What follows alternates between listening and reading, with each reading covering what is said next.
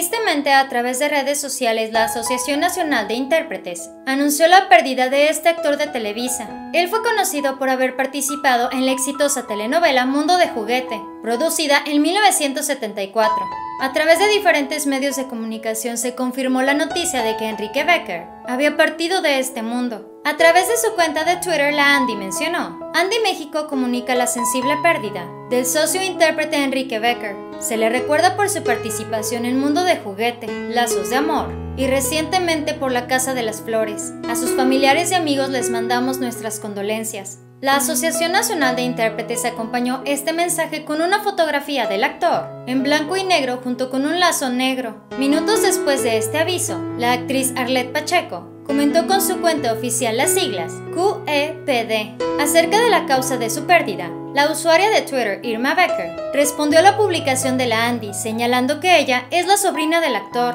agregando que lamentablemente él perdió la vida por una reacción alérgica a un piquete de avispa. A través de su cuenta de Twitter, Irma mencionó, Hola, soy Irma Becker, sobrina de mi tío querido Enrique Becker, a quien quería como padre. Mi tío perdió la vida por la reacción alérgica de un piquete de avispa, lo cual le ocasionó un paro respiratorio. Gracias a todos por sus oraciones. La familia Becker nos sentimos muy tristes.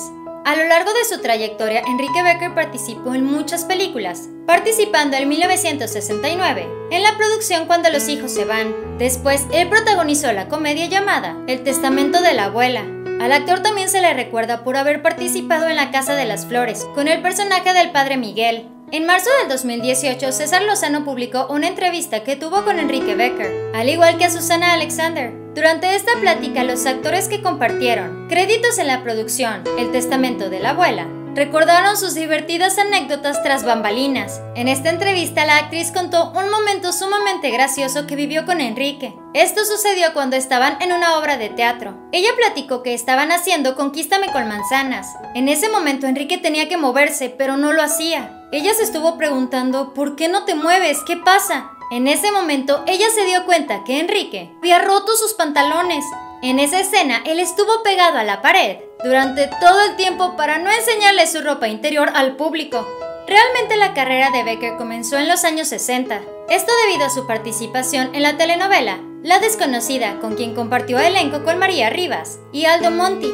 A esta telenovela le siguieron proyectos como El Ruiseñor, La Encrucijada y Obsesión. Sin embargo, la gran fama de Enrique Becker llegó con Mundo de Juguete, con el paso de los años, él logró participar en varios episodios de Mujer Casos de la Vida Real, al igual que en la serie como dice el dicho.